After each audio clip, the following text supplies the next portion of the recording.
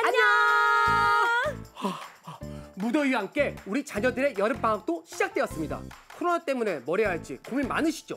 네, 그래서 CTS가 특별한 시간을 준비했습니다. 바로 CTS DB 여름 성대학교인데요.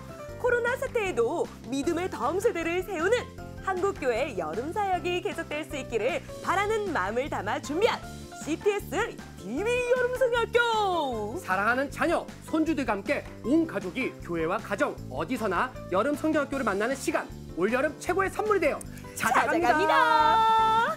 나이다 큐티 슈퍼북 키즈쇼와 함께하는 TV 여름 성리학교 지혜가 자라나는 5차원 성경여행 창조와 진화, 동성애 등 기독교 세계관에 대한 중요한 내용을 어린이의 눈높이에 맞춰 제작한 웹드라마 엉클 존 영유아 어린이들을 위한 프로그램 햄머스의 예꼬 클럽 등 다음 세대뿐만 아니라 부모 세대를 위한 이기복 교수의 부모 특강 시리즈 다음 세대 특집 Calling God 7천 Miracle 내가 매일 기쁘게도 준비되어 있습니다. 그리고 온 가족이 함께하는 가족 QT 뮤지컬과 CTS 특선 영화 일사각오까지 다채로운 시간이 준비되어 있으니 8월 둘째 주 CTS 채널 고정!